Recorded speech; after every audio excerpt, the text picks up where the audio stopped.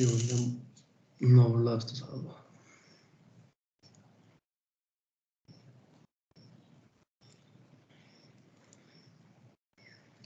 ठिक छ रेफ्रिजरेसन मैले सुरु गरेँ है अझ आउनु भएन आउनु भएन रेफ्रिजरेसन भनेको के त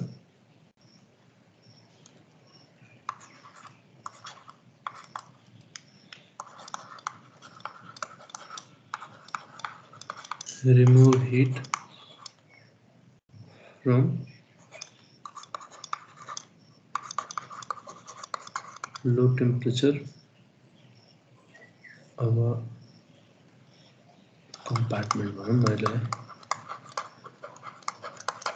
बेसिकली हामी रेफ्रिजरेसनमा के गर्दैछौँ भने लो टेम्परेचरमा भएको कम्पार्टमेन्ट अथवा लो टेम्परेचरमा भएको एरियाबाट हाई टेम्परेचरमा भएकोमा फाल्दैछौँ सो जेन नेचुरली कसरी बग्छ त हिट हाई टेम्परेचरबाट low टेम्परेचरमा high temperature to low temperature तर हामीले के गर्न पर्दैछौँ त? लोदेखि हाईमा हिट फाल्न पर्दैछौँ सो यसको रेफ्रिजरेसन र हिट रेफ्रिजरेटर र हिट पम्प हुन्छ भन्ने हामीले फर्स्ट इयर फन्डामेन्टल्स अफ थर्मोडाइनामिक्समा पढेको छ मलाई सेकेन्ड ल अफ थर्मोडाइनामिक्सको क्लासियस स्टेटमेन्ट र केलिन प्लाङ्क स्टेटमेन्ट होइन? त्यो दुइटा स्टेटमेन्टबाट के थाहा हुन्छ भनेदेखि लो टेम्परेचरदेखि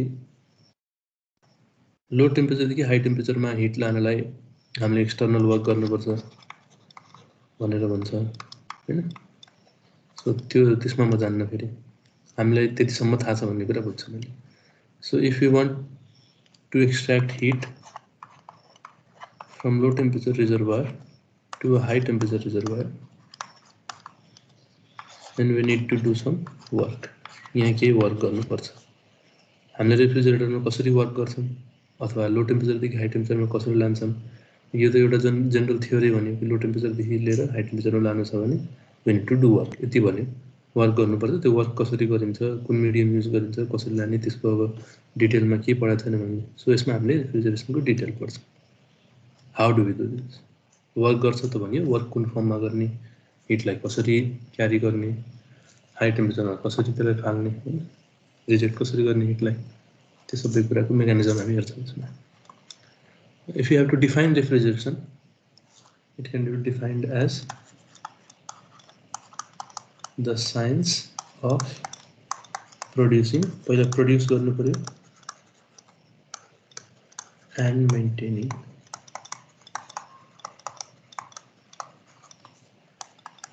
के प्रड्युस गर्ने त temperature below that of the surrounding atmosphere. आफ्नो सराउन्डिङ एटमोस्फियरभन्दा लो टेम्परेचर मेन्टेन गर्नु गर्ने साइन्सलाई प्रड्युस पहिला त प्रड्युस गर्नु पर्यो जस्तै म जुन रुममा बस्दैछु त्यहाँको temperature twenty five degree Celsius room temperature छ भने होइन यो यो कुनै एउटा रुम छ।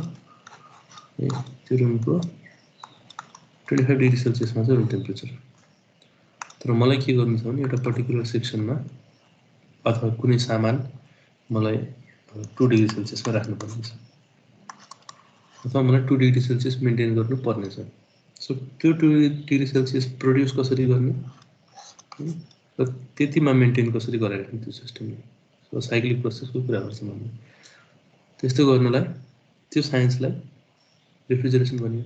So we need to produce temperature below surrounding and then maintain it at that temperature.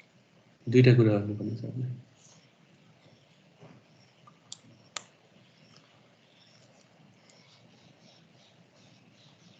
Mechanical refrigeration जुन रेफ्रिजरेटर्सहरू आएका छन्, त्यो त अब बिस्तारै डेभलप हुँदै आएको सुरुमा के गरिन्थ्यो भनेदेखि माटोको भाँडोहरूमा पोरस जग्सहरूमा राखिन्थ्यो, जसबाट के त्यो पोलहरूबाट बिस्तारै वाटर इभापोरेट भएर जान्थ्यो।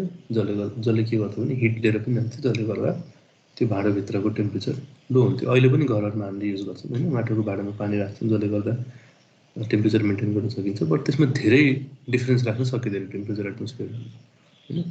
त्यही भएर त्यो जेनरल युजको लागि सुरुमा सुरु सुरुमा त काम गरियो तर हामीलाई चाहिएको रिक्वायर्ड टेम्परेचर धेरै लो पनि हुनसक्छ। अथवा एउटा पर्टिकुलर टेम्परेचरमा मेन्टेन गरेर राख्नुपर्ने हुन्छ हामीलाई। त्यसको लागि हामीले के गर्छौँ बिस्तारै रेफ्रिजरेसन सिस्टम्सहरू डेभलप गर्दै गर्नु डिफ्रेन्ट काइन्ड्स अफ रेफ्रिजरेसन छ त्यो डिफ्रेन्ट काइन्ड्सहरू अहिले हामी डिस्कस गर्छौँ।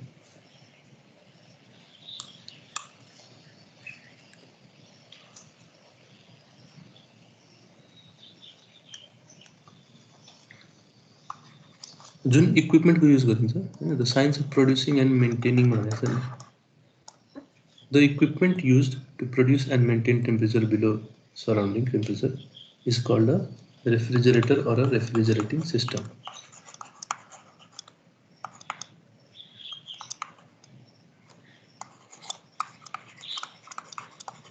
refrigerating system or refrigerator भनौँ होइन कमन ल्याङ्ग्वेज हामीले रेफ्रिजरेटर भन्छौँ यो भनेको के हो? त this is the equipment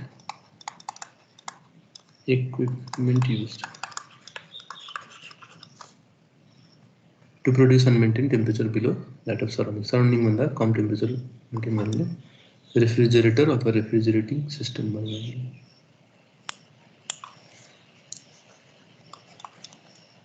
ठिक छ र अर्को हुन्छ एउटा term refrigerated system refrigerated system. This is the system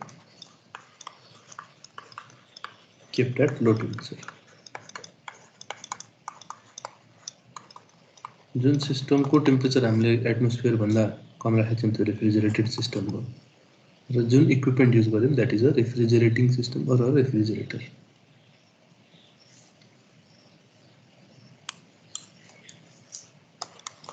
to produce refrigeration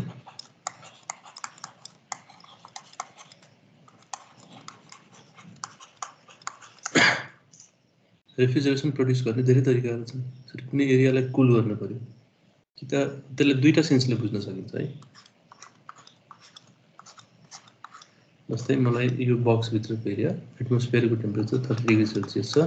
मलाई यहाँभित्र फाइभ डिग्री सेल्सियसमा राख्नुपर्ने छ मलाई भित्र सो यो एरियालाई फाइभ डिग्री सेल्सियसमा राख्नु मिनिङ के? यहाँको हिट बाहिर फाल्नु पनि बुझ्न सकिन्छ होइन? Removal of heat or cooling of this area जसरी बुझे पनि यो एरियालाई चिसो बनाउनु अरू यहाँबाट हिट बाहिर फाल्नु एउटै सेन्समा एउटै कुरा हुन्छ होइन to cool this area or to remove heat from this area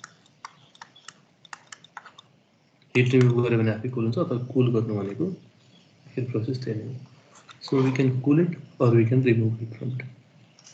So refrigeration produce right? to refrigerate any system or to maintain any system at a temperature below surrounding.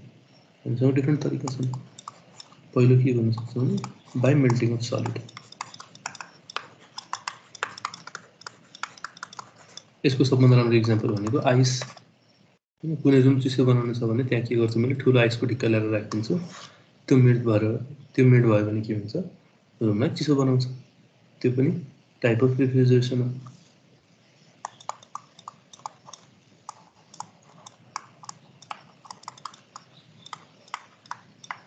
by sublimation of solid sublimation भनेको सलिडबाट direct gas स्टेटमा जाने।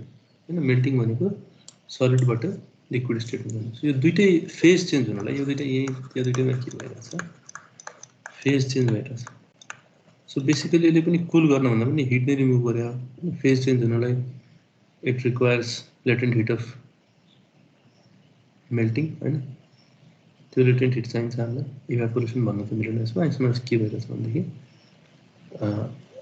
सलिडदेखि liquid अथवा सलिडदेखि gas स्टेटमा भइरहेछ गइरहेछ so. Latent hit त्यसले के लेटेन्ट हिट एटमोस्फियरबाट लिन्छ जसले गर्दाखेरि atmosphere becomes cooler so basically यहाँ हिट भइरहेछ अर्को बाई इभ्यापोरेसन अफ लिक्विड यसमा पनि के भइरहेछ त latent heat requires latent heat to evaporate so लिक्विडले के गर्छ एटमोस्फियरबाट हिट दिन्छ र इभापोरेट हुन्छ सबभन्दा बढी युज हुने प्रोसेस भनेको यो है इभापोरेसन अफ लिक्विड भनेपछि जुन अहिले कमनली युज कमर्सियली युज जुन रेफ्रिजरेटर्स छन् कमर्सियल रेफ्रिजरेटर्स त्यसले इभापोरेसन अफ लिक्विडबाट गर्छन् है? त्यो लिक्विड भनेको the liquid use for refrigeration process is called refrigerant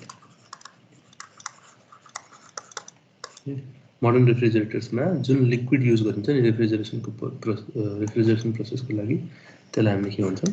refrigerant so refrigeration एउटा कुरा हो। रेफ्रिजरेन्ट भनेको the working substance or the liquid that use हामीले यो दुइटा मेथड युज गर्दैनौँ अहिले सबभन्दा बढी युज हुने भनेको यो मेथड इभ्यापोरेसन अफ लिक्विड एउटा लिक्विडलाई इभ्यापोरेट गराएर अनि कुनै एरियालाई कुनै कन्फाइन्ड एरियालाई कुनै कन्फाइन्ड एरियालाई के गर्ने त चिसो बनाउने अब त्यहाँबाटै हिट रिमुभ गर्ने सो त्यो लिक्विडलाई रेफ्रिजरेन्ट रेफ्रिजरेन्टको बारेमा पनि हामी च्याप्टरमा डिटेलमा कुरा गर्छौँ कस्तो टाइप अफ रेफ्रिजरेन्ट्सहरू हुन्छ त्यसको के के प्रपर्टी डिजाइरेबल प्रपर्टी के के हुन्छ कुन कुन रेफ्रिजरेन्ट्सको के के प्रपर्टी छन् त्यो सबै हामी at the end of the chapter discuss गर्छौँ अहिलेलाई के बुझ्नु भने जुन लिक्विडको युज गर्यो त्यसलाई हामीले रेफ्रिजरेन्ट भन्यौँ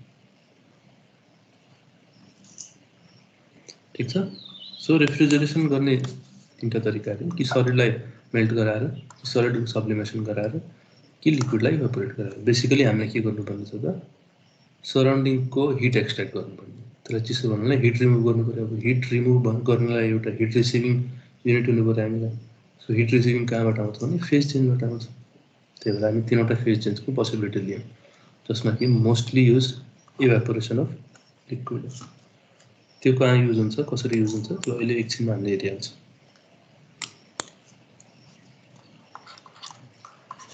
त्यसपछि आउँछ कुरा किन चाहियो त हामीलाई why do need refrigeration why do need मैले पुरै लेखिनँ ए वाइ डु रेफ्रिजरेसन रेफ्रिजरेसन किन चाहियो अब सबभन्दा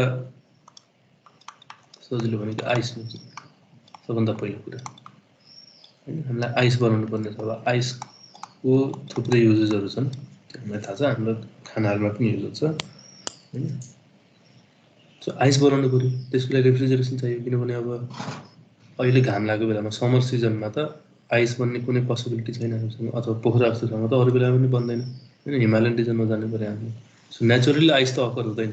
सो हामीलाई के गर्नु पऱ्यो त एक्सटर्नल वर्क गरेर अनि आइस बनाउनु पऱ्यो सो त्यो आइस मेकिङको लागि रेफ्रिजरेसन चाहिन्छ।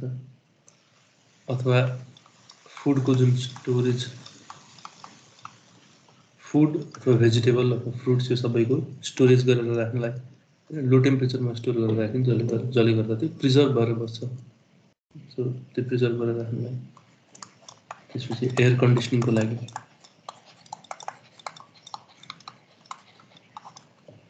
एयर कन्डिसनिङको लागि युज गरियो भने चाहिँ यदि धेरै गर्मी भयो भने ह्युमन कम्फर्ट हामीलाई चाहिन्छ। ह्युमन कम्फर्ट भनेको मान्छेले कम्फर्टेबल भएर बस्नलाई मानव एटमोस्फियरिक टेम्परेचर बाहिरको temperature forty five forty six पुगिसक्यो तराईतिर फोर्टी फाइभ फोर्टी सिक्स नै पुग्छ गर्मीको बेलामा। होइन? अब त्यो फोर्टी फाइभ डिग्री सेल्सियसमा त बस्न सकिँदैन कम्फोर्टेबल भएर।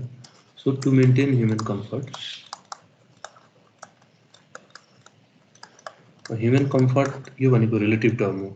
होइन तर बेसिकली एउटा सर्टन टेम्परेचर डिफाइन गर्ने हो भने ट्वेन्टी फाइभ डिग्री सेल्सियसतिर हामी कम्फर्टेबल भएर बस्न सक्छौँ अथवा मैले भनिहालेँ रिलेटिभ टर्ममा हामीलाई लोवर टेम्परेचरमा फोर्टी फाइभ डिग्री सेल्सियस त सबैको लागि अनकम्फर्टेबल हुन्छ अब डिफ्रेन्ट मान्छेको लागि डिफ्रेन्ट अनकम्फर्टेबल कसैलाई एटिनमा कम्फर्टेबल होला कसैलाई ट्वेन्टी फोरमा होला कसैलाई ट्वेन्टी फाइभमा होला कसैलाई थर्टीमा होला तर जति भए पनि यो फोर्टी फाइभमा त कम्फर्टेबल हुँदैन सो हामीलाई फोर्टी फाइभभन्दा लोवर टेम्परेचरमा बस्न मन लाग्छ कम्फर्टेबल हुनलाई सो त्यसको लागि के गर्नु पऱ्यो त एउटा कन्फाइन्ड स्पेस बनाउनु पऱ्यो जहाँभित्र हामीले चिसो बनाएर राख्न सक्छौँ सो त्यो केसेस त्यस्तोलाई एयर कन्डिसनिङ भन्यो अब यहाँ टेम्परेचर मात्र हुँदैन अरू पनि प्यारामिटर्स हुन्छन् होइन ह्युमिडिटी अथवा मोइस्चर कन्टेन्टको कुरा हुन्छ प्योरिटी अफ एयर त्यो सबै आउँछ कम्फर्टमा मैले टेम्परेचरको रेस्पेक्टमा मात्र भन्दैछु।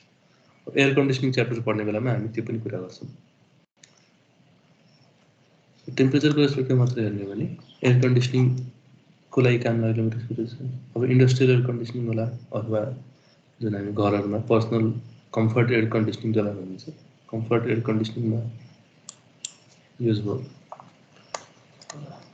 त्यसपछि अब मेडिकल पर्पसेसको लागि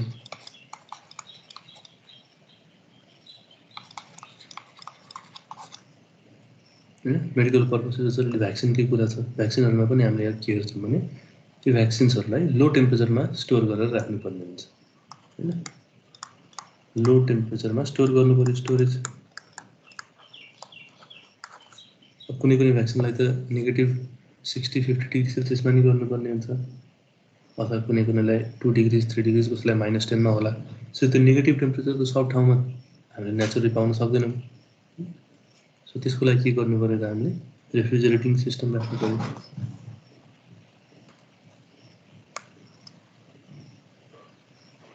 त्यस्तै केमिकल इन्डस्ट्रिजहरूमा केमिकलहरूलाई स्टोरेज गरेर राख्नलाई अथवा कति कति केमिकल्सहरूको प्रोडक्सनको बेला पनि के हुन्छ भने कति टेम्परेचर कन्ट्रोलको कुराहरूलाई अथवा त्यसलाई केमिकल्सहरू के हुन्छ टेम्परेचरसँग त्यसको स्टेबिलिटी त्यसको रिएक्टिभिटी पनि चेन्ज हुनसक्छ। सो एउटा सर्टन टेम्परेचरमा स्टोर गरेर राख्नुपर्ने हुनसक्छ।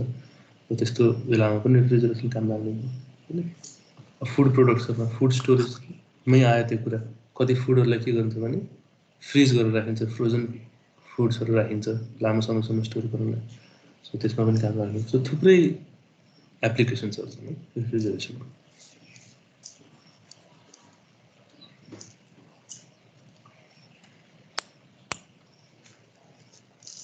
ठिक सो रेफ्रिजरेसन सिस्टमको टाइप्समा जान अगाडि मैले एक दुईवटा कुरा के भन्छु भनेदेखि यो हामीलाई थाहा भएको कुरा होला कुनै सिस्टम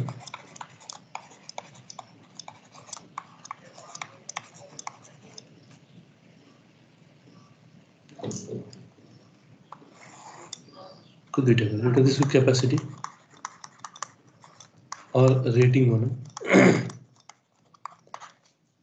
के भन्नुपर्छ?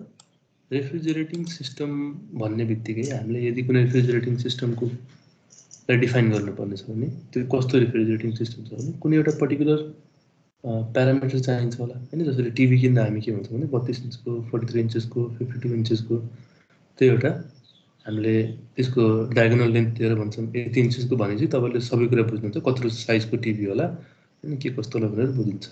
त्यस्तै रेफ्रिजरेटिङ सिस्टमलाई पनि डिफाइन गर्न कुनै एउटा त्यसको फिचर अथवा त्यसको रेटिङ भनौँ कसरी रेट गर्ने कुनै पनि रेफ्रिजरेटिङ सिस्टममा र त्यसको कसरी डिफाइन गर्ने, त्यो हामीले कसरी गर्छौँ भने terms of the refrigeration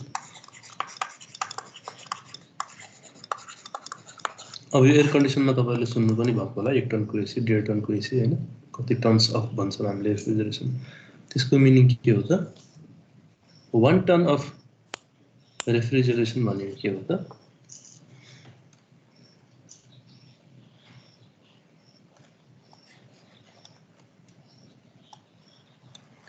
One. Ton of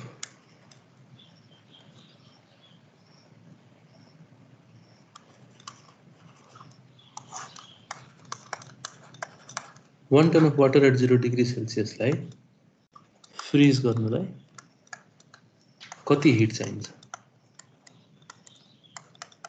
अथवा यसलाई उल्टो सेन्समा पनि हेर्न सक्छौँ। वान टन अफ आइस राख्दा एट जिरो डिग्री सेल्सियस त्यो one ton of water at zero degree Celsius हुनसम्ममा twenty four आवर्समा इन ट्वेन्टी फोर आवर्स भनेपछि मैले कुनै एउटा कन्फाइन्ड स्पेस अब यो कन्फाइन्ड स्पेसमा हुन्छ ओपन स्पेसमा हुँदैन किनभने विनिड सिस्टम एन्ड सराउन्डिङ यो हामीले फन्डामेन्टल्समा पनि पढाएको थियौँ सो एउटा कन्फाइन्ड स्पेस चाहियो पहिलो कुरा त।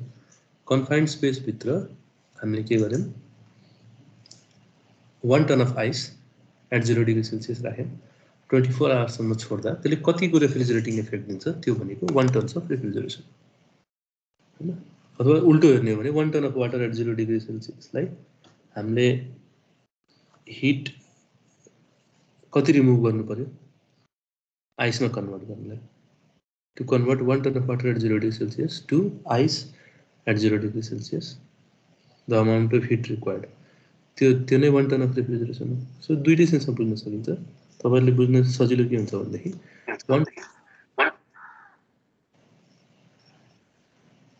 के सोध्नुभयो?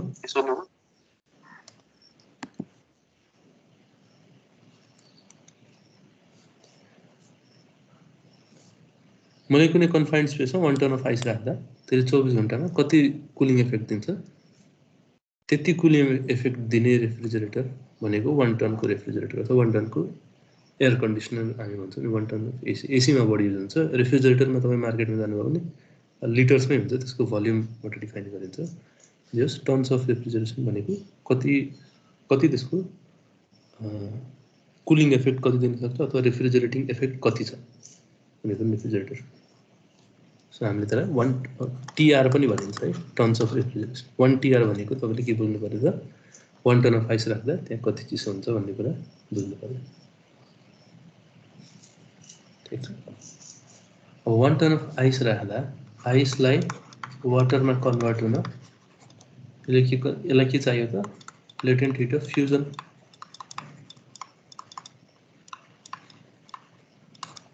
and latent heat of fusion which is 336 kilojoule per kg. So 1 kg of ice लाई वाटरमा कन्भर्ट हुनलाई three thirty six kilo joule of heat चाहियो। अब त्यति हिट त्यसले कन्ज्युम गर्छ। त त्यति त्यतिको कुलिङ इफेक्ट प्रड्युस गर्छ। त्यही नै हो मिन आइसले हिट लियोस् कहाँबाट त? इन्भाइरोमेन्टबाट हुन्छ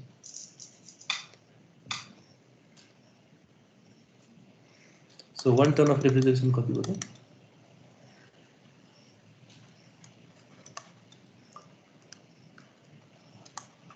one केजीले three thirty six kilo joule दिन्छ वान टनमा थाउजन्ड केजी हुन्छ। थाउजन्ड केजीले कति इफेक्ट दियो? यो ट्वेन्टी फोर आवर्समा दिन्छ सो पर आवर निकाल्ने हो भने कति हुन्छ चाहिँ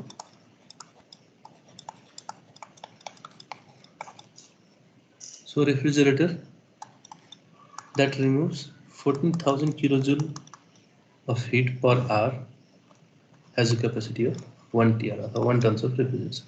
So one टनको रेफ्रिजरेटर छ भने त्यसले के गर्छ? एक घन्टामा चौध हजार किलोजुल अफ हिट एक्सट्र्याक्ट गर्छ त्यो कन्फाइन्ड इन्भाइरोमेन्टबाट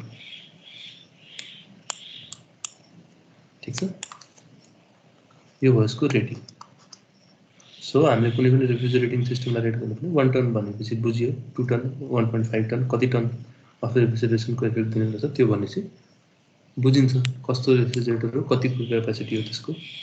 अर्को के प्यारामिटर हुन्छ भने यसको पर्फर्मेन्स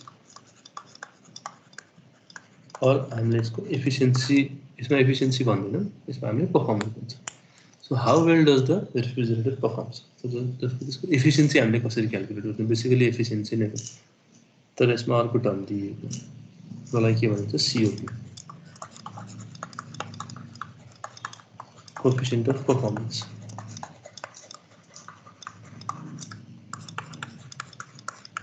refrigerator केसमा सिओपी के हुन्छ होला? के को रेसियो हुन्छ? कसैले भन्नु सक्नुहुन्छ? हामीले पढिसकेका छौँ के के को रेसियो हो सिओपी भनेको?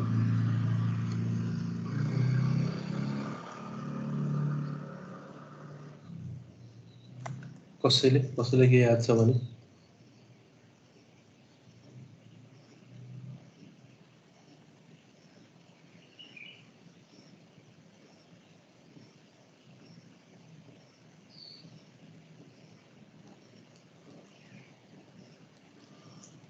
कसैले याद छैन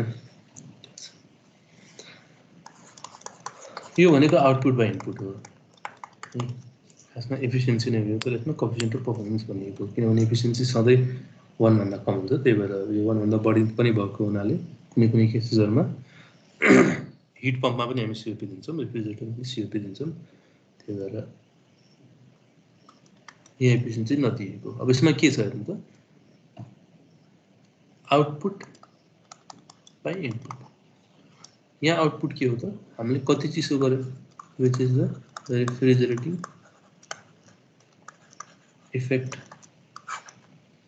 र इनपुट भनेको वर्क डन इफ़ेक्ट प्रड्युस गर्नलाई कति वर्क गर्यो इफ़ेक्ट बाई वर्क ठिक छ सिओपी अफ रेफ्रिजरेटर अब त्यस्तै हिट पम्पको केस थियो भने हिट पम्पले के गर्छ? हिट पम्पले पनि लो टेम्परेचरबाट हाई टेम्परेचरमै हिट फाल्छ है? लो टेम्परेचरदेखि हाई टेम्परेचरमै हिट फाल्छ लोबाट लियो हाईमा फाल्यो तर रेफ्रिजरेटरमा हामी यो एरियामा इन्ट्रेस्टेड हुन्छौँ। कति हिट निकाल्यो लो टेम्परेचरको रिजर्भरदेखि र हिट पम्पमा हामी यो सेक्सनमा बढी इन्ट्रेस्टेड हुन्छ। कति हिट लियोसम्म मतलब हुन्छ कति फाल्यो भन्नेसँग मतलब हुन्छ। सो यो दुइटाको हामी सिओपी क्यालकुलेट गर्छौँ है। COP of refrigerator and COP of heat pump heat पम्पमा के हुने भयो त आउटपुट हाम्रो केसमा रेफ्रिजरेटरको केसमा how much heat has it extracted from low temperature त्योसँग हामी इन्ट्रेस्टेड हुन्छ जब हामीले रेफ्रिजरेटिङ इफेक्ट भन्यो कतिको रेफ्रिजरेटिङ इफेक्ट प्रड्युस गर्यो त्यसको लागि कति वर्क लाग्यो इनपुट वर्क त्यस्तै अब हिट पम्पको सिओपी लेख्ने हो भने heat rejected to high temperature reservoir अथवा हिटिङ इफेक्ट त्यसलाई भन्यो divided by work this by this रेफ्रिजरेटरमा this by यो खासमा भनेको एफिसियन्सी नै आउटपुट बाई इनपुट नै। तर यहाँ सिओपी भनेको। ठिक छ? सो कुनै पनि रेफ्रिजरेटिङ सिस्टमको पर्फर्मेन्स बताउनलाई हामीले के भन्छौँ? यसको सिओपी यति छ है। सिओपी केही एउटा सर्टन भनियो भने के बुझिन्छ त? कति पर्सेन्टेज अफ वर्क डनलाई त्यसले रेफ्रिजरेटिङ इफेक्टमा कन्भर्ट गर्न सक्यो? र रेटिङ दिनलाई यति टनको रेफ्रिजरेसन अथवा यति टनको एयर कन्डिसनर छ है भनेपछि के बुझ्यो त? त्यसले कतिको हिटिङ इफेक्ट दिन सक्छ? ठिक छ? पर्फर्मेन्सले के भन्छ? सिओपीले हामीले वर्क दिँदा कतिको वर्कलाई अहिले हिटिङ इफेक्टमा कन्भर्ट गर्न सक्यो? र क्यापासिटीले के भनेको कति हिटिङ इफेक्ट प्रड्युस गर्न सक्छ कुनै पनि रेफ्रिजरेटर यो कुरा चाहिँ सबै रेफ्रिजरेसन सिस्टमको लागि सेम हुन्छ। सबै कुनै पनि रेफ्रिजरेसन सिस्टमको हामी सिओपी नै निकाल्छौँ र त्यसको रेटिङ हामीले टर्म्स अफ रेफ्रिजरेसन दिन्छौँ त्यसपछि अब हामी टाइप्स डिस्कस गरौँ कुन कुन टाइप्स अफ रेफ्रिजरेटिङ सिस्टम हामीले हेर्छौँ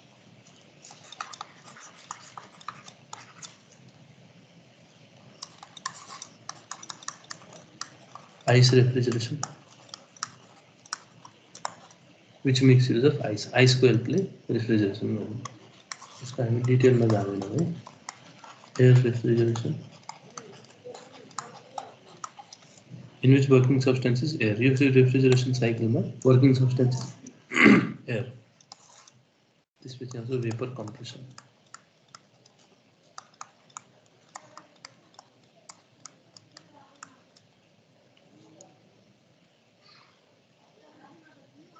वेपर कम्प्रेसन हामीले पढ्छौँ वेपर कम्प्रेसन रेफ्रिजरेसन सिस्टम मैले पुरै लेखिनँ वेपर कम्प्रेसन भनेर लेखेँ, वेपर कम्प्रेसन रेफ्रिजरेसन सिस्टम र त्यसपछि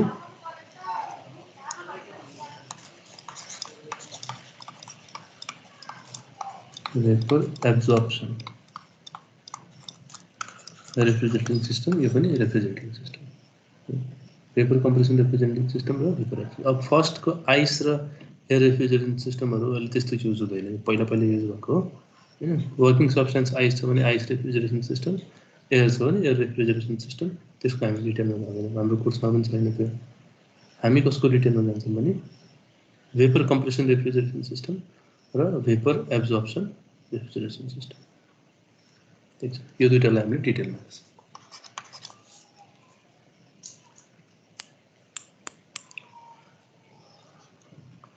मैले सुरु गरेँ भेपर कम्प्रेसनबाट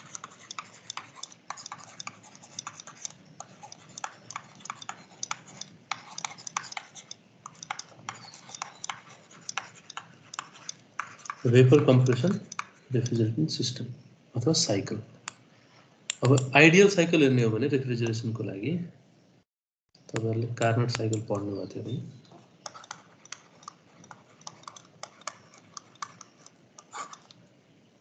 कार्नट साइकलमा हामीले के पढाएको थियौँ भने दुईवटा आइसोथर्मल प्रोसेस र दुईवटा एडियाबेटिक सो हिट एडिसन र rejection. Isothermal.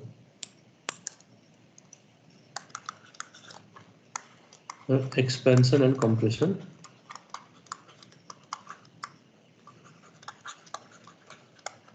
Adiabatic. Carnot साइकलमा यही पढाएको थियौँ हामीले र यो पनि पढाएको थियौँ कि कार्नट साइकल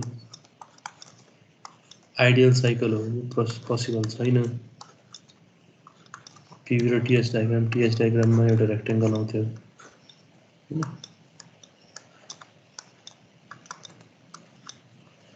यसमा कस्तो आउँथ्यो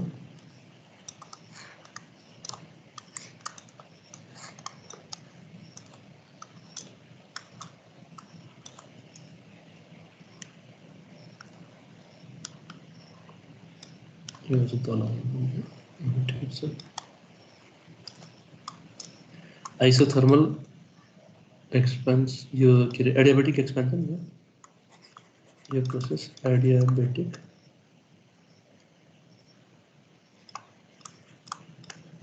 एक्सपेन्सन यताको एडियाबेटिक कम्प्रेसन यो हामी कहाँ देखिरहेको छौँ यसलाई मैले वान दियो। वान टू थ्री फोर गरेर दियो भने यहाँ मैले यहाँ वान दिन्छु यहाँ टू दिन्छु यहाँ थ्री दिन्छु यहाँ फोर दिन्छु। This is isothermal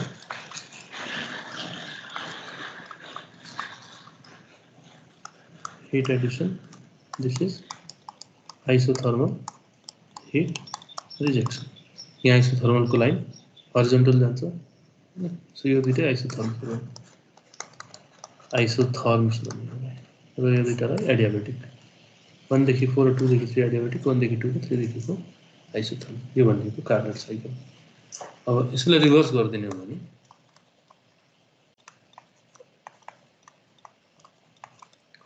reverse Carnot reverse कार्नटमा के हुन्छ? दुइटा आइसोथर्मल हुन्छ। र दुइटा एडियाबेटिक हुन्छ। तर फ्लो उल्टो हुन्छ। जसरी isothermal heat addition adiabatic expansion त्यसपछि आइसोथर्मल हिट रिजेक्सन र एडियाबेटिक कम्प्रेसन छ भने उल्टो भयो एक्सपेन्सन भयो हिट एडिसन भयो यसको ठ्याक्क उल्टो जान्छ उल्टो प्रोसेसमा जान्छौँ जसलाई हामीले रिभर्स कार्नट साइकल भन्छ।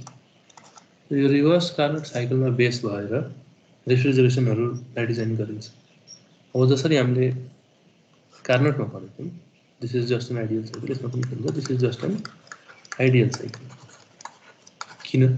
किनभने आइसोथर्मल अब एडियाबेटिक भन्नुको अर्थ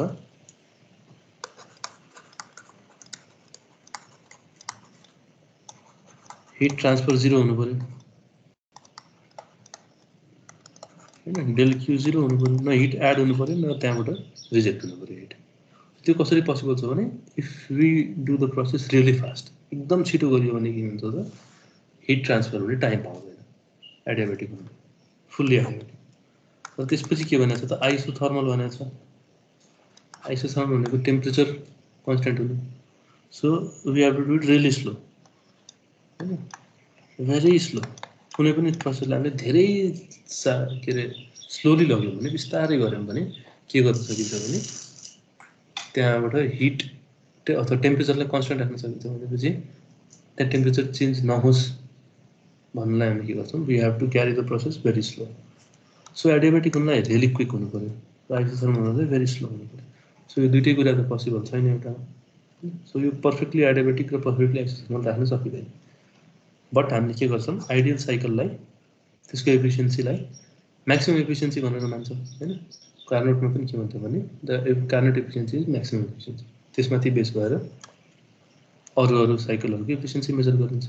यसमा पनि रिभर्स कार्नोटको म्याक्सिमम् एफिसियन्सी मान्छ अब हामीलाई रिभर्स कार्नोटको डिटेल हेर्नु छैन हामीलाई भेपर कम्प्रेसन गर्नु छ। यो जस्तो तपाईँहरूले भनिदिएको मैले कुन साइकलमाथि बेस्ड छ भनेर।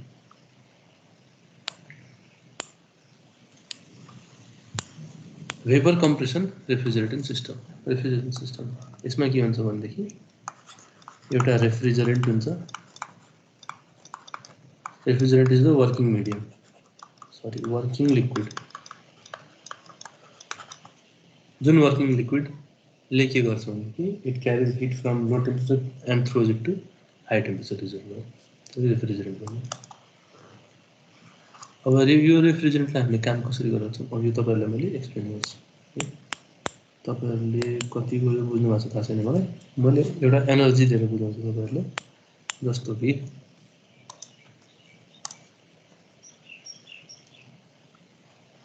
मसँग यस्तो तिनवटा भाडो छ है।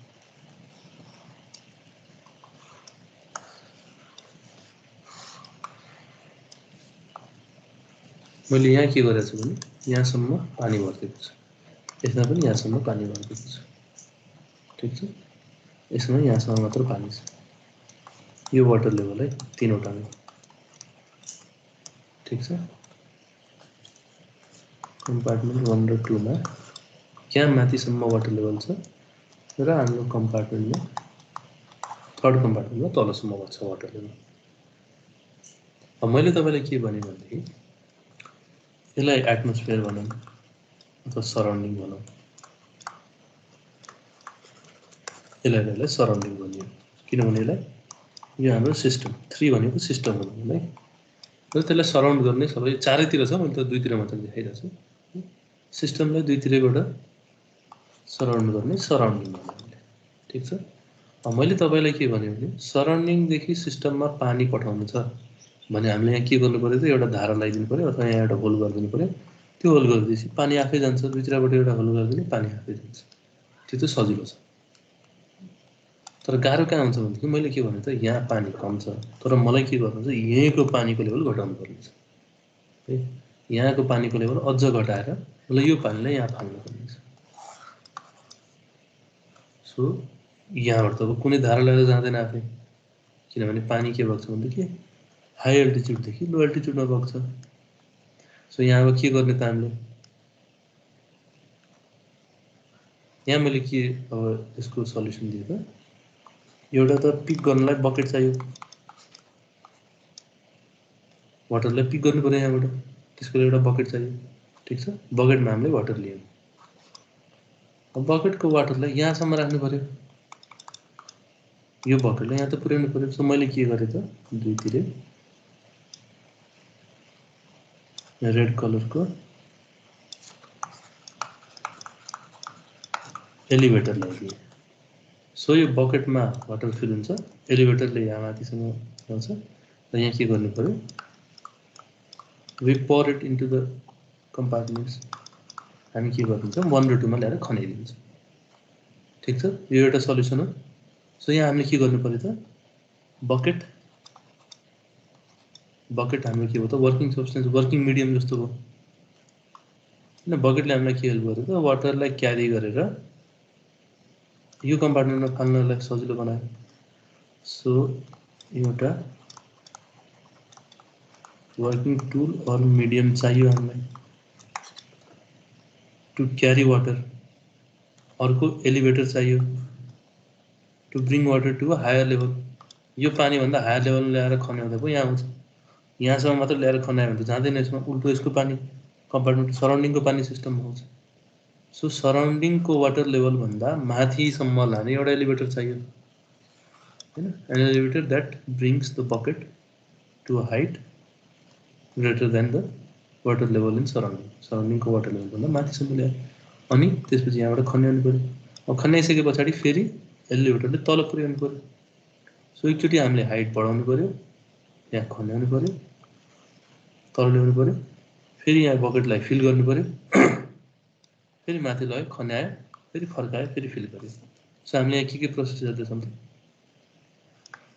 हामीसँग बकेट छ which is our working tool or medium भनौँ। फर्स्ट प्रोसेस वाटरलाई फिल गर्नु पऱ्यो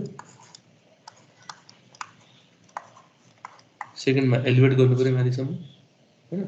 माथिसम्म लिएर जानु पऱ्यो त्यसपछि पावर गर्नु पऱ्यो यसलाई खनाइदिनु पऱ्यो र त्यसपछि फेरि रिटर्न गराउनु पऱ्यो return back to its level फेरि फिल गऱ्यो फेरि एलिभेट गऱ्यो फेरि पावर गऱ्यो फेरि यहाँ साइक्लिक प्रोसेस हुने भयो सो एउटा साइकलमा हामीले के गर्न सक्यौँ त कन्टिन्युसली यहाँको वाटरलाई यहाँ फाल्न सक्यौँ। है? र सेकेन्ड ल अफ थर्मोडाइनामिक्सले के भन्यो त?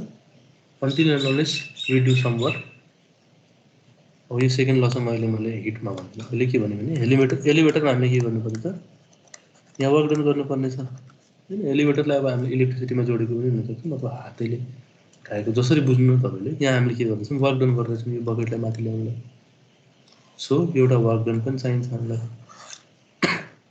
अब यो एनालोजीबाट मैले हिटमा तपाईँलाई लैजान्छु अब यहाँ वाटर लेभल भनेको टेम्परेचर बुझौँ so system is at low temperature and surrounding is at high temperature. ठिक छ नेचुरली हिट फ्लो हुनलाई के हुनु त यो दुइटालाई कन्ट्याक्टमा ल्याइदियो भने हाई टेम्परेचरदेखि लो टेम्परेचरमा हिट फ्लो हुन्छ। जति बेलासम्म इक्वल हुँदैन वाटर जस्तै जति बेलासम्म लेभल इक्वल हुँदैन त्यति बेलासम्म वाटरको फ्लो हुन्छ। वाटर भनेको के हो त? हिट जुन हामीले यहाँ वाटर हेर्दैछौँ द्याट इज हिट वाटरको लेभल इज टेम्परेचर होइन सो अब हामीलाई लो टेम्परेचरको रिजर्भरबाट जुन सिस्टम छ हाम्रो लो टेम्परेचर रिजर्भरबाट हाई टेम्परेचर रिजर्भरमा लानु पऱ्यो जुन हाम्रो सराउन्डिङ छ सो त्यसको लागि त पक्कै पनि वाकडाउन गर्नुपर्छ। एउटा जुन एलिभेटर राखेको छौँ हामीले होइन एलिभेटरभन्दा अगाडि के गर्नु पऱ्यो त फिल गर्ने। केलाई फिल गर्ने? वाटरलाई फिल गर्ने अब यो हिटलाई लिएर जाने एउटा मिडियम चाहिन्छ त्यो भनेको हाम्रो केसमा रेफ्रिजरेन्ट हुन्छ। अब मैले के गरेँ भने तपाईँलाई यो हिटको एनालोजी दिन्छु है। फेरि मैले तिनवटा कम्पार्टमेन्ट बनाएँ। सिस्टम टेन डिग्री सेल्सियसमा छ सराउन्डिङ ट्वेन्टी फाइभमा छ। मलाई यसको सराउन्डिङ ट्वेन्टी फाइभमा छ। सिमिलर भयो फिगर ट्वेन्टी फाइभदेखि टेनमा ल्याउन यो कम्पार्टमेन्ट हटाइदिइहाल्छु मैले। दुइटै कन्ट्याक्टमा आएपछि इक्विलिब्रियममा आउँछ। तर त्यो गर्नु छैन हामीलाई। हामीलाई टेनलाई घटाएर फाइभमा ल्याउनु पर्ने छ। यसको हिट फेरि यहीँ फाल्नुपर्ने छ। सो त्यसको लागि के गर्नु पर्यो यही प्रोसेसहरू हामीले हेर्नुपर्छ सो वर्किङ मिडियम एउटा चाहियो। द्याट क्यारिज हिट हाम्रो केसमा वर्किङ मिडियम इज रेफ्रिजरेन्ट रेफ्रिजरेन्टले कसरी क्यारी गर्छ हिट जसरी यसमा बकेटले के पानी भर्थ्यो यसमा रेफ्रिजरेन्टले के हुन्छ भनेदेखि लो मेल्टिङ पोइन्ट हुन्छ यसको। मानव, यो रेफ्रिजरेन्टको two degree Celsius melting point छ है, मैले के गरेँ पाइप लगाइदिएँ यो पाइपमा रेफ्रिजरेन्टलाई फ्लो गराइदिएँ। अब यसको melting point two degree Celsius छ र यसको एटमोस्फियरमा टेन डिग्री सेल्सियस छ भने यो त पक्कै पनि इभ्यापोरेट हुन्छ। होइन यो रुमबाट पास भएपछि रेफ्रिजरेन्ट इभ्यापोरेट भयो। पाइपभित्रै पाइप बाहिर निकाल्ने छैन है हामीले।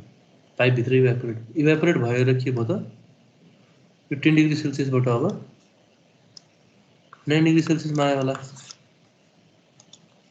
होइन यसकै हिटले इभ्यापोरेट भएको हो सो टेन डिग्री सेल्सियसको सिस्टम हाम्रो नाइन डिग्री सेल्सियसमा आयो। बट अब इभ्यापोरेट भइसक्यो। हाम्रो रेफ्रिजरेन्ट इभ्यापोरेट भइसक्यो। अब इभ्यापोरेट भएर हामीले यताको सेक्सनमा ल्यायौँ भने त यो त टेन डिग्रीभन्दा ठुलो छ twenty five degree Celsius.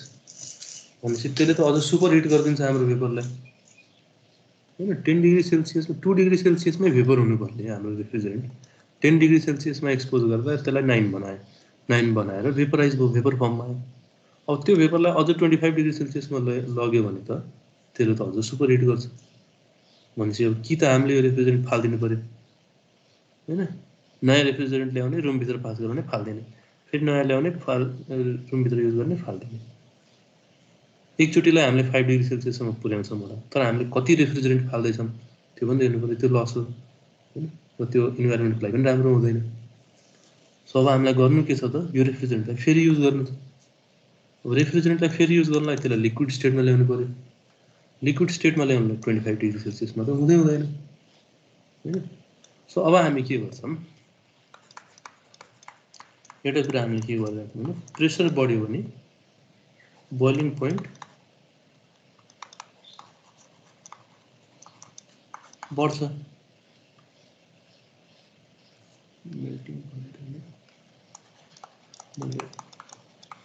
Boiling point देखेको है सरी त्यहाँ मेल्टिङ पोइन्ट देखाएको छु मैले लिक्विडदेखि भेपरमा गएर छ नि बोइलिङ पोइन्ट हो। Two degree Celsius boiling point हो त्यसको हामीले के पढाएको छौँ भने प्रेसर बढ्यो भने बोइलिङ पोइन्ट बढ्छ सो अब मैले के गर्छु त two degree Celsius boiling point भएको भेपर छ हामीसँग होइन यो भेपरलाई मैले के गर्छु प्रेसर बढाउँछु मैले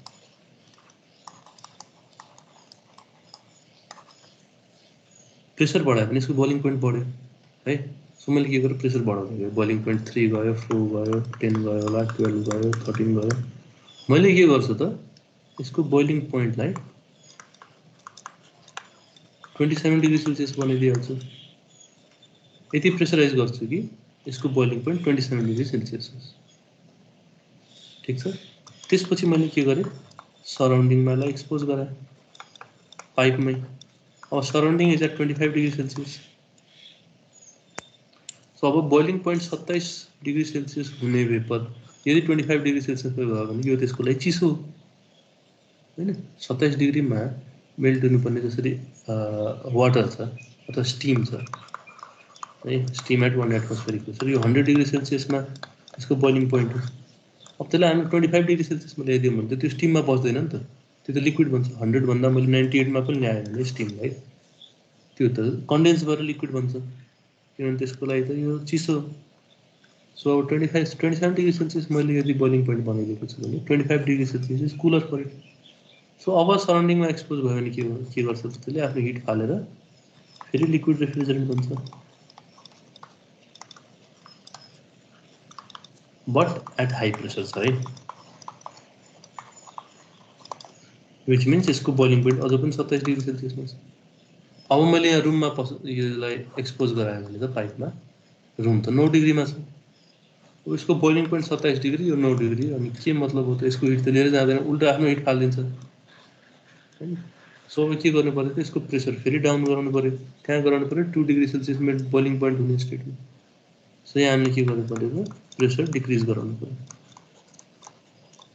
प्रेसर डिक्रिज गराएर हामीले टु डिग्री सेल्सियस बोइलिङ पोइन्टको फेरि रेफ्रिजरेन्ट बनाइदिहाल्यो अब टु डिग्री सेल्सियस यहाँबाट पास भयो भने नाइन डिग्री सेल्सियसको लागि धेरै ठुलो होइन टु डिग्री सेल्सियस नै बोइलिङ पोइन्ट हो नाइन डिग्री भनेको त धेरै नै तातो यसको लागि। सो फेरि यहाँको हिट लिएर भेपर बन्छ नाइनलाई फेरि एट बनाउँछ होला। होइन नाइनलाई एट बनायो फेरि अब प्रेसर बढ्यो फेरि एटमोस्फियरमा गयो एटमोस्फियरमा हिट फाल्यो फेरि कन्डेन्स भयो कन्डेन्स भएर फेरि प्रेसर डिक्रिज गर्यो। साइक्लिक चलिरहन्छ है सो यहाँ चारवटा युनिट के के चाहियो त एउटा सिस्टमभित्र हिट लिएर जाने युनिट जसलाई हामीले इभ्यापोरेटर भन्छौँ इभ्यापोरेटर कहाँ छ त सिस्टमभित्र छ यहाँ सिस्टमको हिट लिएर गइरहेछ है सिस्टमको हिट लिएर गएपछि के गर्नु पऱ्यो प्रेसर इन्क्रिज गर्नु पऱ्यो प्रेसर इन्क्रिज गर्नलाई हामी के राख्छौँ कम्प्रेसर राख्छौँ कम्प्रेसरले के गर्यो प्रेसर इन्क्रिज गरिदियो प्रेसर इन्क्रिज गरेपछि अब सराउन्डिङमा पठाउनु पऱ्यो सराउन्डिङमा पनि एउटा पाइप राखेको हुन्छौँ हामीले अब सराउन्डिङमा के गर्छ यहाँ हिट लिइरहेको थियो सिस्टमभित्र हिट लिइरहेको थियो त्यही भएर इभ्यापोरेटर होइन इभ्यापोरेट भएर गइरहेको थियो सराउन्डिङमा के हिट फालिरहेछ र कन्डेन्स भइरहेछ so it is call condenser कन्डेन्सरमा heat फालिसके पछाडि अब लिक्विड स्टेटमा आयो लिक्विड रिफ्रिजरेन्ट बट हाई प्रेसरमै हामीलाई लो प्रेसरमा ल्याउनु पर्ने सो। त्यसपछि हामी के भन्छौँ यहाँ हामीले एक्सप्यान्ड गराउँछौँ लिक्विडलाई एक्सप्यान्ड गराएपछि के प्रेसर डिक्रिज हुन्छ अर यसलाई थ्रटनिङ पनि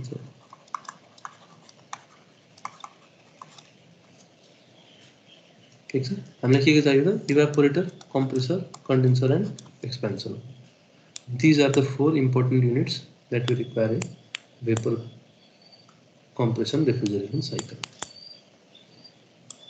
system cycle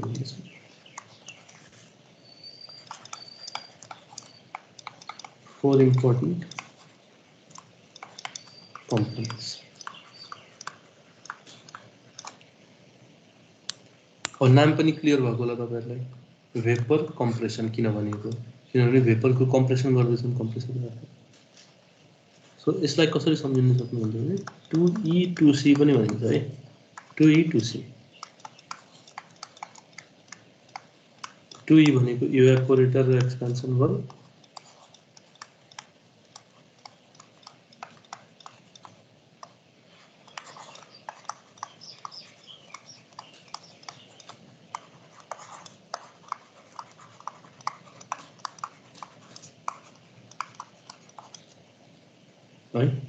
2E, 2C. So यहाँबाट यदि वर्किङ प्रिन्सिपल बुझ्नु भएको छ भने यसको मैले ब्लक डायग्राम बनाउँछु सो पहिला के हुन्छ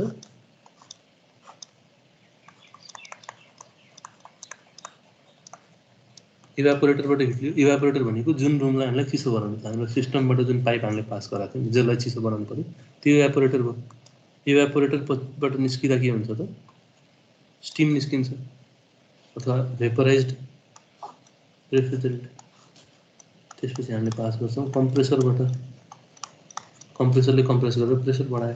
त्यसपछि सराउन्डिङमा पास गराउँछौँ जहाँ के गर्छ भने रेफ्रिजरेन्टले हिट फाल्छ र कन्डेन्स हुन्छ। त्यसलाई हामीले कन्डेन्सर भन्यो। र कन्डेन्सर पछि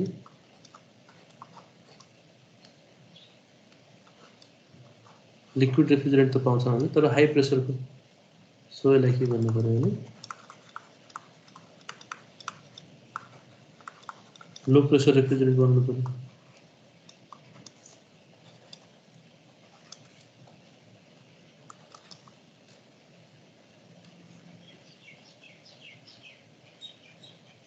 ठिक छ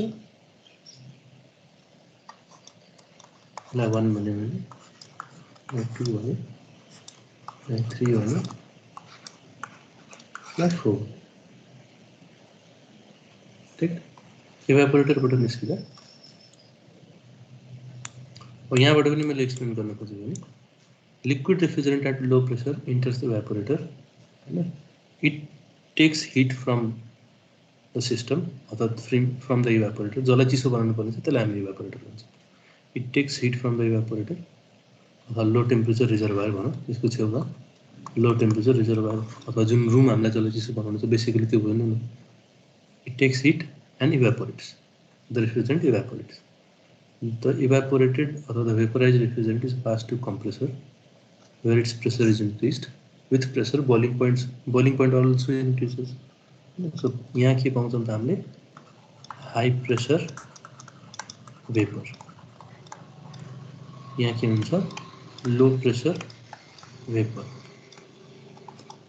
होइन सधैँ लो प्रेसर यो पुरै भेपर हुन्छ भन्ने छैन। कहिलेकाहीँ कम्प्लिटली इभ्यापोरेट नहुन पनि सक्छ। टु फेजमा पनि हुनसक्छ होइन? किनभने अब यहाँ त्यति टेम्परेचर तल खसाउनु पर्ने छैन भने त्यसले इनफ हिट पाउँदैन होला पुरै इभ्यापोरेटरले सो सम पोर्सन भेपराइज भएर जान्छ होला सम पोर्सन लिक्विडै बस्छ होला। तर जे हामीले के भन्दैछ भने लो प्रेसर भेपर नै भनौँ यसलाई त्यसपछि यसले हाई प्रेसर भेपरमा लाग्यो। यहाँ के भयो? हाई प्रेसर लिक्विड होइन? कन्डेन्स भइसकेपछि लिक्विड हो। र यहाँ फेरि low pressure liquid low pressure liquid low pressure भेपरमा change भयो फेरि लो प्रेसरबाट कम्प्रेसरले हाई प्रेसर भेपर बनायो कन्डेन्सरले भेपरलाई लिक्विड बनायो तर प्रेसर घटाएन एक्सपेन्सन भयो प्रेसर पनि घटाइदियो यहाँसम्म सायद बुझ्नु भएको होला तपाईँहरूले ठिक छ यहाँसम्म बुझ्नु भएको छ भने यसको मैले पिभी डायग्राम बनाएर देखाउँछु तपाईँलाई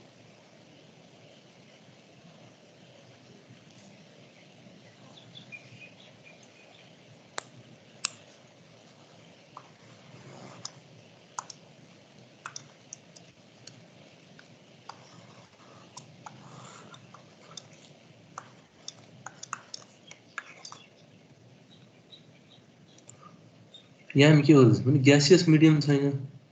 ग्यासियस मिडियम छैन यहाँ लिक्विड मिडियम छ हामीसँग। सो लिक्विड मिडियमले के गर्छ त? फेज चेन्ज गर्छ जस्तै हामीले वाटरको लागि पढेको थियौँ। फन्डामेन्टल अफ थर्मोडाइनामिक्स तपाईँहरूले पढ्नु भएको होला वाटरको लागि। त्यहाँ के हुन्थ्यो भने? लिक्विडले अलि अर्कै तरिकाले बिहेभ गर्छ किनभने त्यसको फेज चेन्ज हुन्छ। ग्यासियस सिङ्गल मिडियममा बस्दैन। यसको वर्किङ मिडियमको फेज चेन्ज भइरहेको छ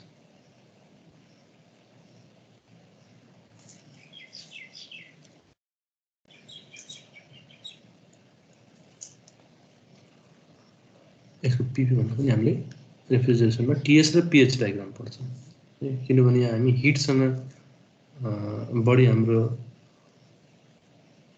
कन्सर्न छ होइन? कति हिट लियो र कति फाल्यो माथि। हिटसँग बढी कन्सर्न छ। So area under TS diagram is heat so यसमा टिएस डायग्राम र पिएच डायग्राम हामीले हेर्छौँ। रेफ्रिजरेसन मलाई टिएस डायग्राम बनाउनु पऱ्यो भने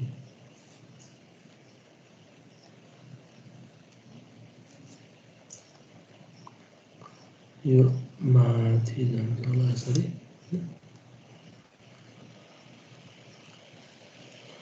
इभ्यापोरेटरबाट निस्किँदा। हामीले यहाँ दुई तिनवटा कन्डिसन हुनसक्छ कस्तो कन्डिसन भन्नु खोजेको भने कम्प्रेसरबाट निस्किने जुन कम्प्रेसरको जुन आउटलेट हुन्छ नि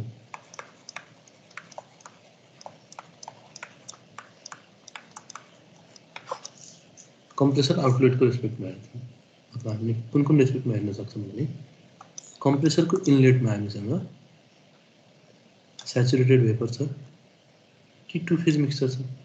मैले अघि जब भनेको थिएँ नि त्यो कुराले। इभ्यापोरेटरमा रेफ्रिजरेन्ट भएपछि त्यहाँ कति हिट अभाइलेबल छ त्यसमा डिपेन्ड गर्छ कि कम्प्लिटली इभ्यापोरेट हुन्छ कि हुँदैन। अब यहाँ फेज चेन्ज भइरहेछ भने प्रेसर रिमेन्स कन्सटेन्ट कन्सटेन्ट प्रेसरमा फेज चेन्ज भइरहेछ। सो टेम्परेचर पनि कन्सटेन्ट हुन्छ। किन हामीले यहाँ प्रेसर चेन्ज गरेको छैन। सिम्पल एउटा पाइप राखिरहेछौँ पाइपभित्र रेफ्रिजरेन्ट गइरहेको छ। सो प्रेसर त चेन्ज भएको छैन। सो प्रेसर कन्सटेन्ट छ भने टेम्परेचर पनि कन्सटेन्ट हुन्छ। जबसम्म फेज चेन्ज हुनु हामी पढाएको छौँ पहिला। सो अब यो इभ्यापोरेटरमा अहिले इनफ हिट पाइसक्यो कि सबै रेफ्रिजरेन्ट भेपरमा कन्भर्ट होस् कि पाएको छैन। पाएको छैन भने टु फेज मिक्सचर हुन्छ पाइसकेको छ भने सेचुरेटेड भेपर हुन्छ। अनि compression is isentropic isentropic is adiabatic and reversible so at constant is so दुईवटा कन्डिसन हुन्छ यहाँ। अब यसरी छ भने यो माथि जाला यसरी। यहाँबाट छ भने कन्सटेन्ट इन्टरभलमा जान्छ। अर्को कन्डिसन के हेर्न सक्छौँ भने हामीले? कम्प्रेसरको आउटलेट कम्प्रेसरको आउटलेटमा आउँदा टु फेज मिक्सचर छ कि? सेचुरेटेड भेपर छ कि? सुपर हिटेड छ। हामी जेनरली यहाँ सेचुरेटेड र सुपर हिटेडको कन्डिसन हेर्छौँ। सो एट कम्प्रेसर आउटलेट कस्तो क्वालिटी छ? यो किन हेर्छौँ भन्ने कुरा अहिले मैले भन्छु। किनभने वर्क डन जुन हुन्छ कम्प्रेसनमा त्यो त्यसमै फरक पर्ने हो। पहिला मैले के भने त एउटा कन्डिसन के लिए? When the vapor is dry and saturated.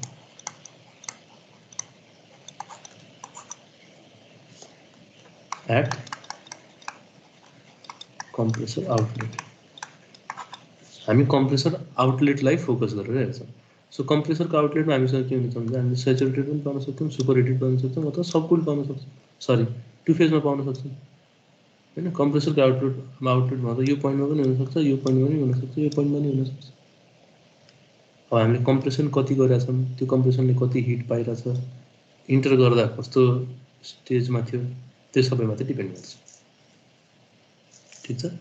So when the vapour is dry and saturated भनेको ठ्याक्कै सेचुरेटेड भेपर छ भने यो at the end of compression हो भने कम्प्रेसन कसरी भइरहेछ त? आइसेन्ट्रोपिकली भएको छ भने वान यहाँ आउनुपर्ने। होइन कम्प्रेसरको एन्ट्री यहाँ आउनु पऱ्यो र आउटलेट यहाँ आउनु पऱ्यो because this process is isentropic अब कम्प्रेसरमा निस्किसके पछाडि कन्डेन्सर कन्डेन्सरमा के भइरहेछ कन्डेन्स भइरहेछ सो त्यो कन्सटेन्ट प्रेसरमा छ भने टेम्परेचर पनि कन्सटेन्ट हुनु पऱ्यो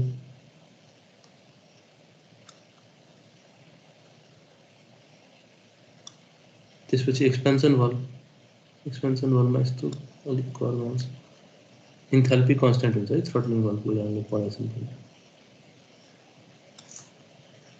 र वान टू थ्री यहाँ हामी के मान्छौँ भनेदेखि यहाँको कन्डिसनहरूले मैले उतै रोकिदिएँ यहाँ हामीले कहाँसम्म चिस्याउँछौँ त जति बेलासम्म सेचुरेटेड लिक्विड पाइँदैन त्यसपछि एक्सपेन्सन भल्भले थोरै एक्सपान्ड गराउँछ र फेरि हामी स्ट्रेट फोरमा आइपुग्छ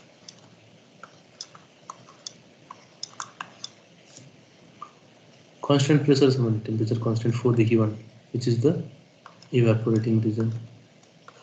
यो evaporating region त्यसपछि कम्प्रेसरमा गएपछि कम्प्रेसरले यति यतिसम्म वर्क डन गर्यो वानदेखि टू टूदेखि थ्री कन्डेन्सरमा कन्डेन्स भयो थ्रीदेखि फोर थ्रोटलिङ भल्भले एक्सप्यान्ड गर्यो त एक्सपेन्सन भल्भले एक्सप्यान्ड गर्यो so TS डायग्राममा area under curve is heat यहाँ रेफ्रिजरेटिङ इफ़ेक्ट भनेको इभ्यापोरेटरबाट कति हिट लिएर गयो? त्यही नै रेफ्रिजरेटिङ इफेक्ट हो। है जुन हामीलाई चिसाउने पर्ने ठाउँ त्यसलाई कति चिसो बनायो अथवा कति हिट लिएर गयो। सो टिएस डायग्राममा हेर्ने हो भने जुन सेडेड एरिया छ four A B one this is the refrigerating effect र वर्क डन भनेको वानदेखि टूको बिचमा भइरहेछ। कम्प्रेसरमा अरू कतै वर्क डन भएको छैन। होइन थ्रोटलिङ बल्ब भनेको सिम्पल एउटा बल्ब हो। त्यहाँ वर्क डन भएन। इभापोरेटरमा वर्क डन भएन हिट ट्रान्सफर मात्र भयो कन्डेन्सरमा पनि वर्क डन भएन किनभने त्यो सिम्पल पाइप्सहरू मात्र छन्। त्यहाँ पनि वर्क डन भइरहेको छ वर्क डन कहाँ भइरहेछ त कम्प्रेसरमा भइरहेछ ठिक छ?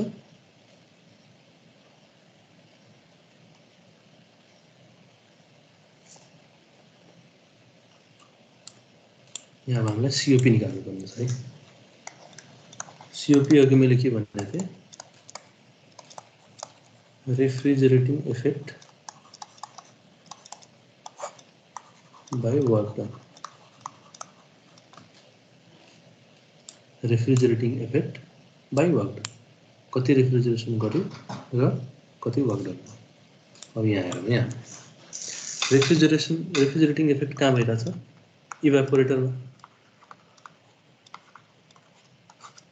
र वर्क डन कहाँ भइरहेछ? कम्प्रेसरमा यहाँ यहाँ कुलिङ भइरहेछ भनौँ न कुलिङ इफेक्ट देखिरहेछ यहाँ र वर्क कम्प्रेसरले गरिरहेछ ठिक छ कम्प्रेसर होस् कि इभापोरेटर होस् तपाईँले के पढ्नु भएको थियो भने थर्मोडाइनामिक्समा के पढ्नु भएको थियो त क्लोज्ड सिस्टम र ओपन सिस्टम कन्ट्रोल भल्युम भनेर पढ्नु भएको थियो ओपन सिस्टमलाई हामीले कन्ट्रोल भल्युम भन्छौँ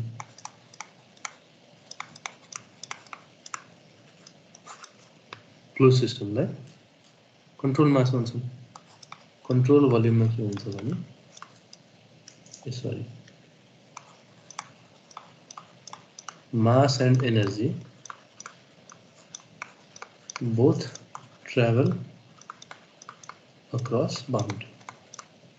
होइन मास र एनर्जी दुइटै ट्राभल गर्छ। सो हाम्रो कम्प्रेसर भनेको के हो त?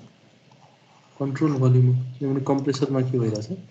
एकातिरबाट भेपर आइरहेछ अर्कोतिरबाट निस्किरहेछ। सो मास पनि इन्फ्लो भइरहेछ आउटफ्लो भइरहेछ र एनर्जी पनि इन्फ्लो भइरहेछ आउटफ्लो भइरहेछ। ठिक? हो तपाईँहरूले के पढ्नु भएको थियो भने कन्जर्भेसन अफ एनर्जीको स्टेटमेन्ट पढ्नु भएको थियो control भल्युमको which is basically equal to steady flow हामीले एजम्सन गर्छौँ। स्टेडी फ्लो वर्क एप्लिकेसन भनेर पढ्नु भएको थियो। तपाईँले अब कति कति सम्झिनु भएको छ खै यहाँ स्टडी फ्लो भइरहेछ र वर्क एप्लिकेसन भनेको कम्प्रेसर भएको हुनाले वर्क एप्लिकेसन किनभने कम्प्रेसरमा वर्क डन भइरहेछ। ठिक छ?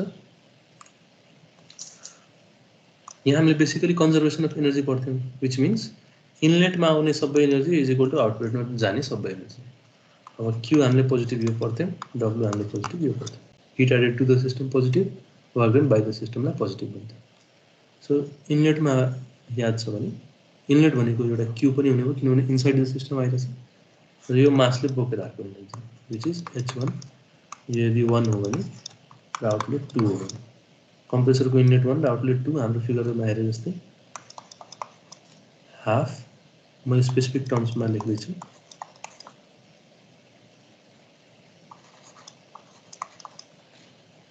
यो भनेको इन्थाल्पी यो भनेको स्पेसिफिक काइनेटिक एनर्जी यो स्पेसिफिक पोटेन्सियल एनर्जी यो specific enthalpy where H is equal to U plus PV भनेर हाल्नु परेछ यो डेरिभेसनमा म जान्न यो स्टेटमेन्ट हाम्रो थियो सो मासले गएको एनर्जी हो। प्लस अर्को इनलेटतिरको क्यु क्यु भने भित्र आएको छ इज इक्वल टु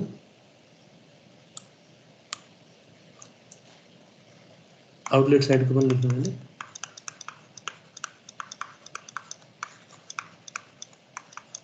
डब्ल्यु होइन यो एडियाबेटिक प्रोसेस हो भन्छ। एडियाबेटिक कम्प्रेसन सो यो जिरो हुनु पऱ्यो। हिटमा एड भएको छ न सब एड भएको छ। एडियाबेटिक छ भेलोसिटीमा नि खासै चेन्ज आउँदैन। So change in kinetic energy पनि हामी अलमोस्ट जिरो लिन्छौँ। यो दुइटा काटे होइन। काइनेटिक एनर्जी जिरो होइन। Difference in kinetic change in kinetic energy inlet र आउटलेटमा भेलोसिटीको फरक भनेको र इनलेट र आउटलेटमा हाइटको फरक। यो पनि नेग्लिजिबल हुन्छ यो हामीले एजम्सन्स पहिला पनि पढाएको थियौँ यो एजम्सन हामीले गरेको। अब कम्प्लिटली इक्वल पनि हुँदैन थोरै फरक हुन्छ तर त्यो नेग्लिजिबल हुन्छ। सो यो सबैलाई हामीले नेग्लेक्ट गर्नुहुन्छ यहाँ कति आउने भयो त?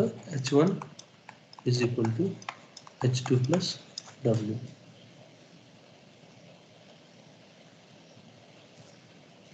अब यो जुन डब्ल्यू मैले लेखेको छु हामीले डेरिभेसन गर्दा डब्ल्यू पोजिटिभ के लिन्छ त work done by the system तर कम्प्रेसनमा के भइरहेछ work is done to the system compressor कम्प्रेसरमा हामीले वर्क गर्दैछौँ so our W becomes negative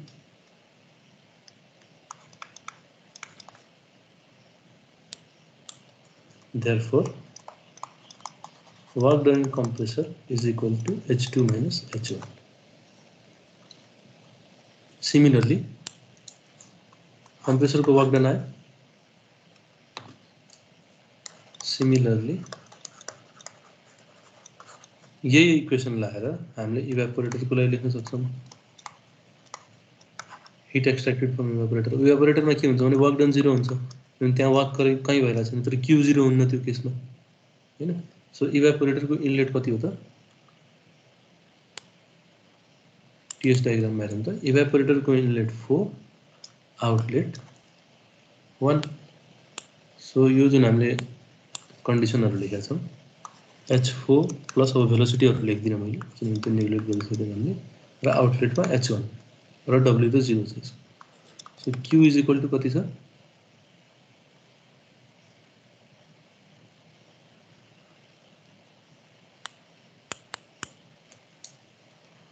H one minus H four हुनुपर्ने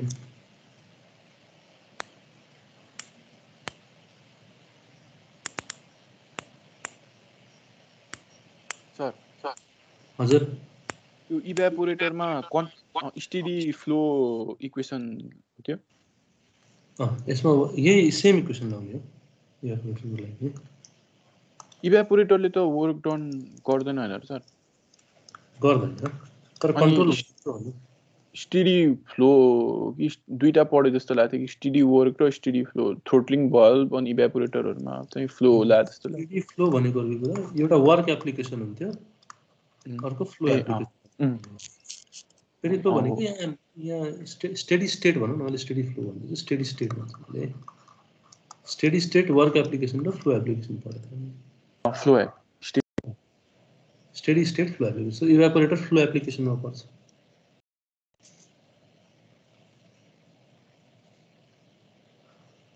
सो? इभ्यापोरेसनको इनलेट कति छ हाम्रो केसमा फोर छ है inlet is four H four होइन फोर पोइन्टमा आएको फ्लुइडको enthalpy plus heat added must be equal to h1 q is equal to h1 minus h4 ठिक छ this is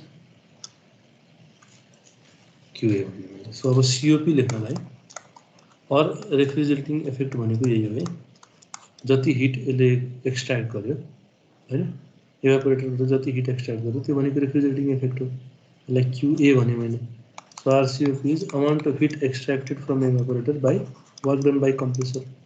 So H1 minus H4 divided by H2 minus H1. यो COP भयो है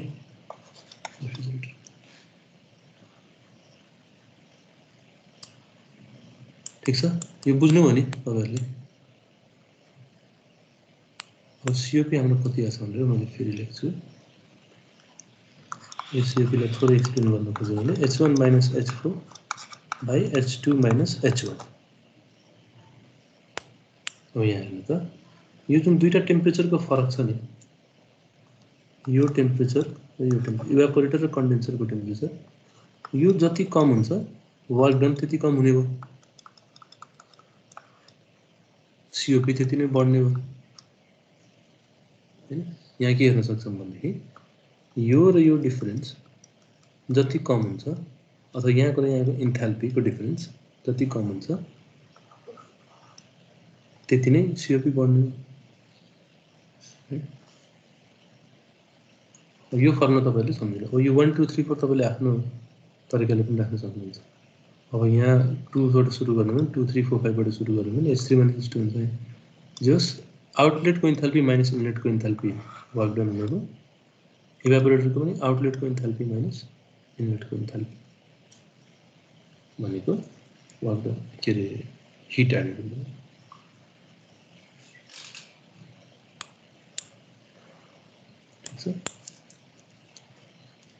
एक बजीसम्म पढौँ अझ दस मिनट पनि एउटा अझ मैले यहाँ के थियो when the vapour is dry and saturated at compressor outlet अर्को के हुन्छ त when the vapor is superheated at कम्प्रेसरको आउटलेटमा सुपर हिटेड छ भने हाम्रो टिएस डायग्राम कस्तो हुन्छ त सुपर हिटेड ल्याउनलाई यहाँ यहाँ कति हाम्रो सेचुरेटेड भेपरमा पनि राख्न सक्नुहुन्छ अथवा यो भित्र पनि राख्न सक्नुहुन्छ? त्यो क्वेसनको कन्डिसन अथवा न्युमेरिकल आयो भने त्यो क्वेसनले कस्तो कन्डिसन दिएको छ? अथवा हाम्रो रियल लाइफमा हेर्दा पनि इनलेटमा कस्तो स्टेट कुन स्टेटमा थियो? सेचुरेटेड भेपर थियो कि टु फेजमा थियो कि कस्तो थियो? त्यो हेर्नुपर्ने हुन्छ ठिक छ? अब यहाँ के हुन्छ भनेदेखि फेज चेन्ज हुँदाखेरि त टेम्परेचर कन्सटेन्ट नै हुने हो तर एकचोटि फेज चेन्ज भइसकेको छ। लिनियरली भ्यारी हुन्छ प्रेसरसँग प्रेसर कन्सटेन्ट भयो भने टेम्परेचर इन्क्लाइन्ड भएर जान्छ सो सुपर हिटेडबाट एकचोटि सेचुरेटेड भेपरमा आउने त्यसपछि अब फेज चेन्ज हुन थालेपछि यो के हुन्छ? कन्सटेन्ट टेम्परेचरमा आउँछ। यहाँसम्म कन्सटेन्ट टेम्परेचरमा आयो त्यसपछि थ्रटलिङ गर्नु थ्रटल गर्यो र सो वान टू टू त्यसलाई थ्री प्राइम भन्दै यसलाई थ्री अथवा यसलाई टू प्राइम भन्दै यो स्टेटलाई र फोर यहाँ पनि सिओपी यही नै हुन्छ है H one minus H four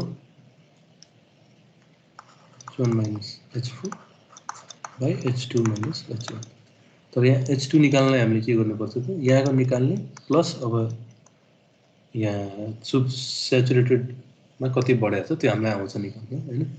हामीले फन्डामेन्टल थर्मोडाइनिक्समा पनि निकालेको छौँ है? यहाँ H is equal to HS plus X XHLG लाग्छ टु फेजभित्र टु फेजबाट निस्किसकेको छ भने सेचुरेटेड टेबलहरू छ हामी सेचुरेटेड स्टिमको लागि। सो त्यो सेचुरेटेड स्टिमको टेबलहरू हो हामी त्यहाँबाट।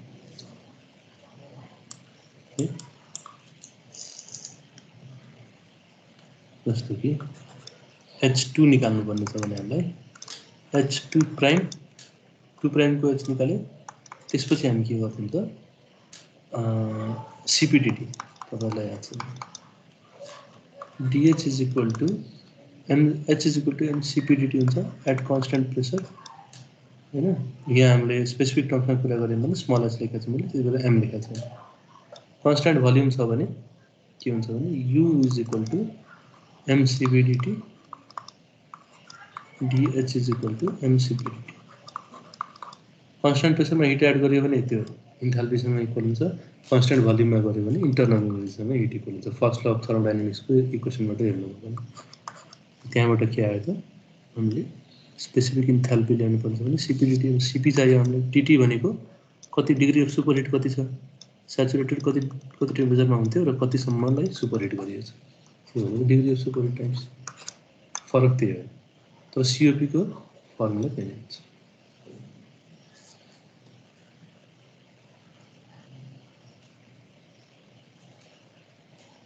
ठिक छ केही कन्फ्युजन छ तपाईँहरूको यहाँसम्म केही कन्फ्युजन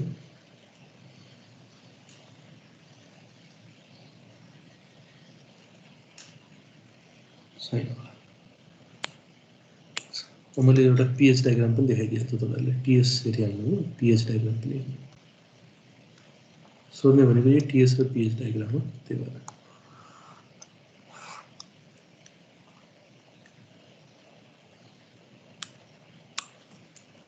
पिएच चार्ट पाइन्छ भने डिफ्रेन्ट है पिएच चार्ट पाइन्छ त्यो डिज़ाइन गर्नलाई काम तपाईँहरूलाई एउटा स्याम्पल पनि देखाउँछु पिएच चार्टमा एक्चुअली यस्तो डोम जान्छ यो अलिक कम नै भयो अलिक बढी नै जान्छ सेचुरेटेड कर्भ अनि यस्तै भएर आउँछ है सेचुरेटेड कर्भ पिएच चार्टमा यो पिएच चार्टको एउटा स्याम्पल तपाईँलाई मैले नेक्स्ट क्लासमा देखाउँछु पिएच चार्टमा के हुन्छ भनेदेखि यहाँ हामीले चुप्पो लगाएर पहिला थ्रटलिङमा इन्थाल्पी कन्सटेन्ट गरिदिन्छौँ हामी थर्मोडाइनामिक्समा पढाएको थियौँ थ्रटलिङ प्रोसेसमा इन्थाल्पी इज कन्सटेन्ट त्यसपछि प्रेसर कन्सटेन्टमा फेज चेन्ज भइरहेछ कन्सटेन्ट इन्ट्रोपीको लाइन यस्तो जान्छ। अब यो म तपाईँहरूलाई एउटा पिएच चार्टको स्याम्पल देखाउँछु नेक्स्ट क्लासमा पिएच चार्टको चाहिँ थाहा हुन्छ। त्यसमा लाइनहरू कसरी ट्र्याक गर्ने। कन्सटेन्ट इन्ट्रोपीको लाइन यस्तो इन्क्लाइन गर्दो हुन्छ थ्री फोर थ्री फोर यो हरिजेन्टल लाइन हो। यो कम्प्लिटली हरिजेन्टल किनभने प्रेसर कन्सटेन्ट छ।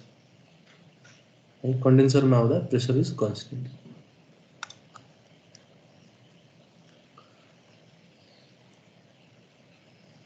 यो मैले यसको लागि बनाइदिएँ उल्टो बनाइदिएछु किनभने टू भनेको सुपर हिटेडमा बस्छ यहाँ टू सुपर हिटेडमा भएको हुनाले यहाँ टू सुपर हिटेडमा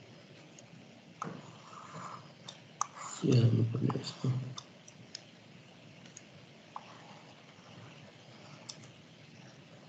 यहाँभित्र छ भने यहाँ टू सुपर हिटेड यो यस्तो यो यस्तो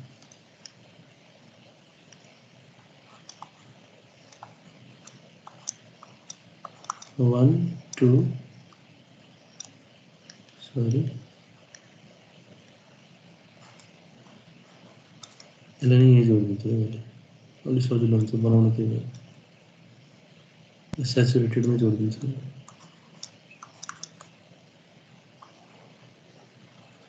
यो वान टू यो टू प्राइम यो थ्री यो फोर यसको लागि हो।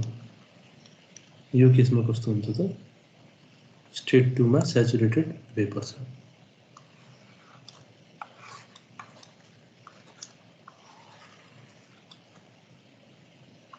यहाँबाट सुरु गर्ने यहाँसम्म लाग्ने यहाँबाट धेरै नै निकाल्ने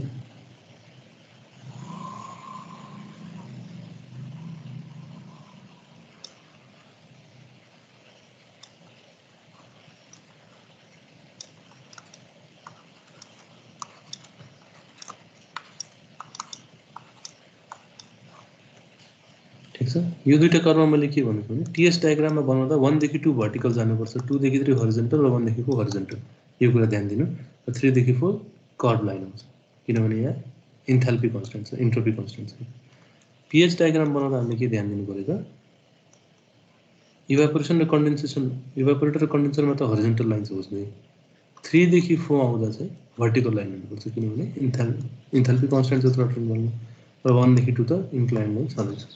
इतिको ध्यान देते सो यो वर when the vapour is saturated and dry at compressor outlet and you one you when the vapour is superheated constant compressor outlet इसको TS diagram PH diagram compressor outlet में सैचुरेटेड को TS PH diagram and this is दीओ two